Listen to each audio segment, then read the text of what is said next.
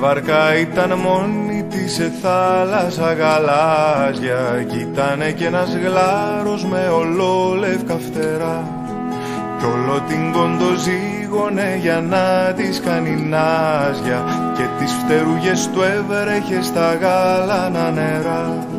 Και ζήλεψα τη βάρκα τη μικρή τη χιονάτη Που της φιλούσε ο γλάρος το κατάλευκο πανί και νιώθω σαν βαρκούλα στα γαλάζια τα πλάτη Που όλο περιμένει κάποιο γλάρο να φανεί